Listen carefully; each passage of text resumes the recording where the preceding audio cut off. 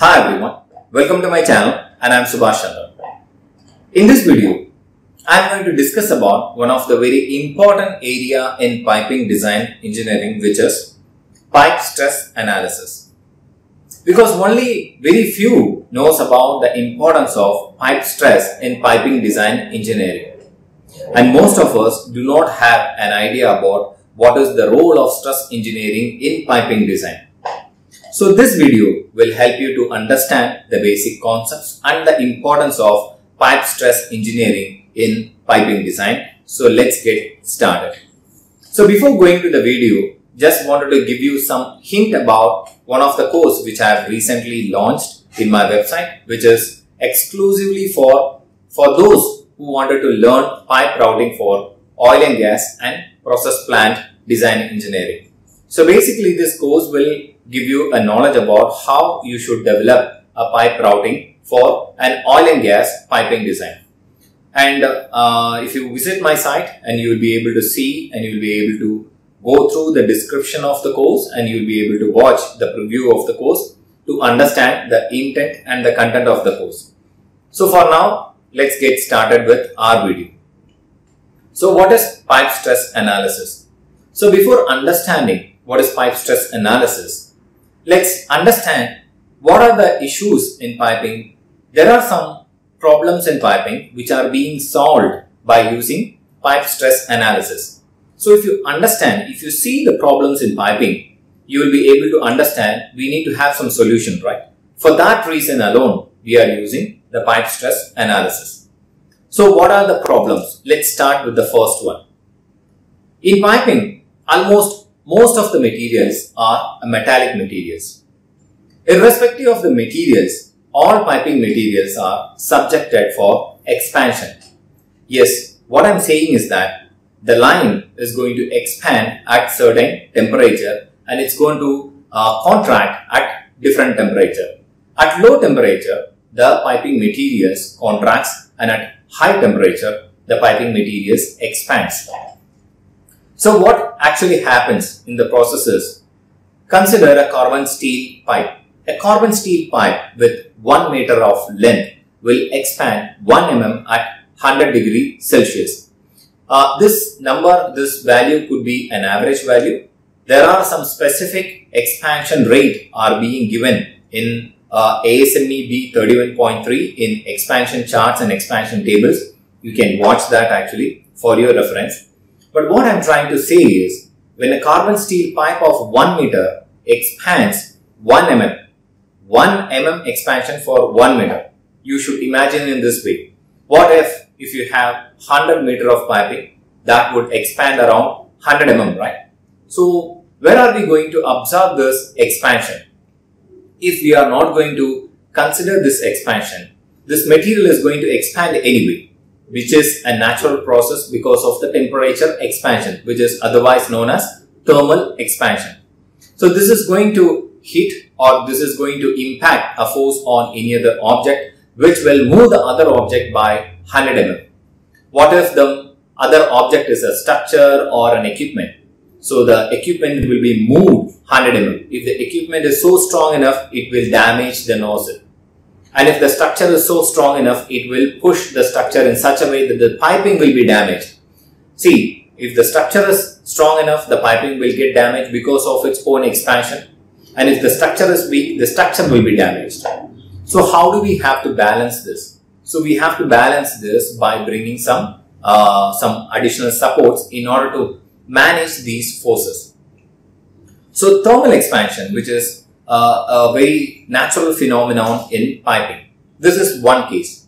And the other case is displacements due to various other forces. So one of the forces, what I said is thermal expansion, which could displace the pipe. And there are other forces such as water hammering effect due to the fluid flow due to two-phase scenarios in the piping. Two-phase scenario is nothing but uh, a single phase means it's full of gas or full of liquid. If two phase means the, the liquid will have both gaseous phase and as well as the liquid phase. So liquid phase, I mean the in two phase generally water hammering effect will or generally occurs in the piping.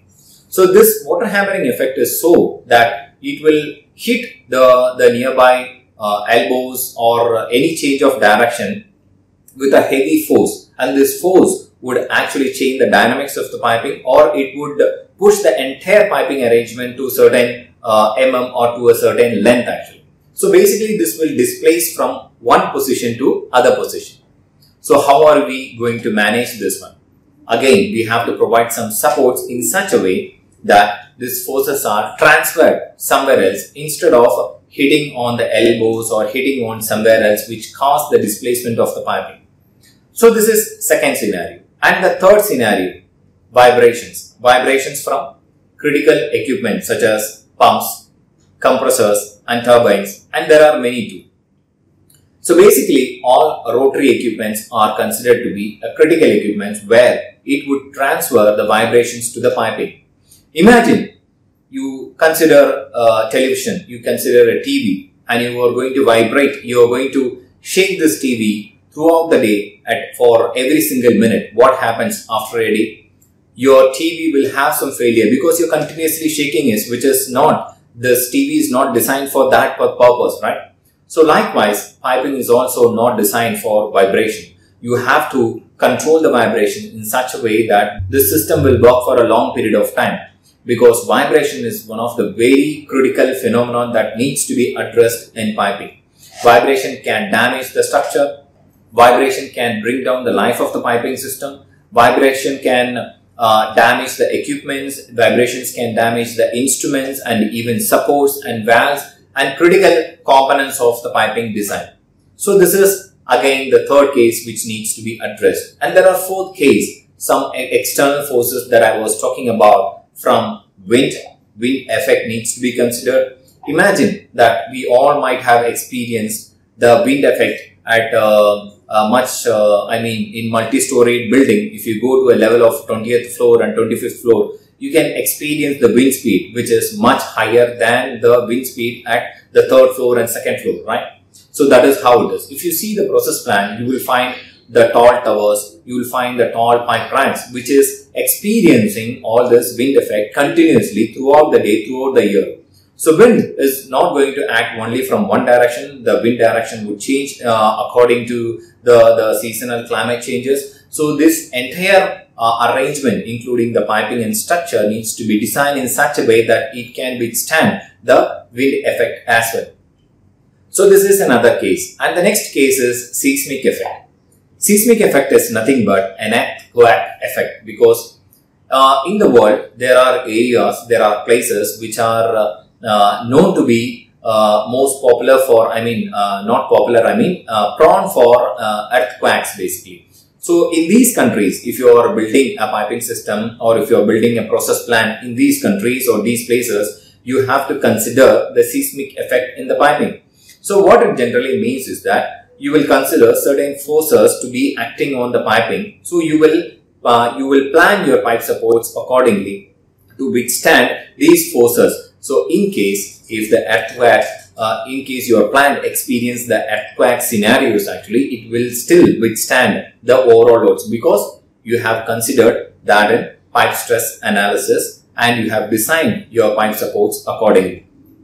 So this is an other case and especially uh, in more colder places such as the, the North uh, Arctic regions where the snowfall is much higher. The snow is going to deposit over the piping. So this is another case you have to uh, consider.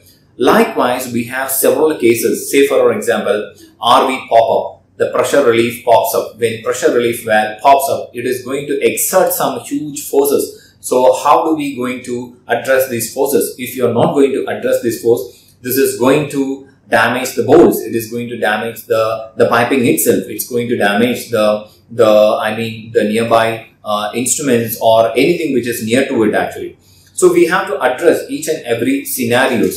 Moreover, in high temperature lines, the expansion will be much higher. Consider when a plant starts, the plant starts at a very uh, I mean ambient temperature, right? What is an ambient temperature? It's just 21 degrees Celsius to 30 degrees Celsius. That would range from one country to another country, right? But uh, the operating temperature would be somewhere around 150. Uh, at cases, the operating temperatures are around uh, 300. And again, when the plant goes for shutdown, the line will uh, come back to its original uh, position, right, from where it started. So from 21 degrees Celsius to 300 degrees, the line is going to expand and then it is going to contract. So this movement, so where it is being supported is also experiencing this field, right? So uh, let me put in this way actually. So you have placed your piping over the structure, okay? If your piping is going to move for 100 mm or 300 mm, whatever be it, it is, it will have some frictional force over the structure, right? So this frictional force is actually acting on the structure if the structure is not designed properly and not designed to withstand these frictional forces, it is going to fail in a longer period of, I mean, it is going to fail maybe in a month or a year that you cannot um, uh, predetermine these scenarios. So the essential part that you have to do is that design the structure in such a way that you withstand these forces because these forces are going to be continuous throughout your operation cycle because you're you're going to start the plant you're going to shut down the plant and again uh, the temperatures will uh, start from zero and it will go high again it has to come back. And um, along with that you will experience a wind effect you will experience a rv pop-up scenario. There are multiple cases. So basically stress engineer identifies the different cases that is going to occur in piping design i mean in the piping networks and he will design the entire uh, piping supports accordingly now, let me tell you one of the very important, uh, the qualification that we have to do it actually. See, when the piping connects to an equipment, you have to qualify the nozzle of the equipment.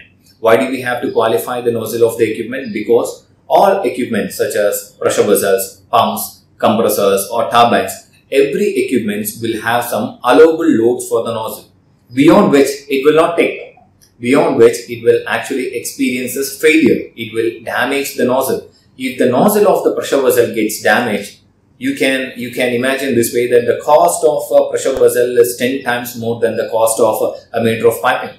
So basically, you have to safeguard all the equipments in the uh, process plant or any other plant because equipment values are much higher than compared to piping or pipe support values.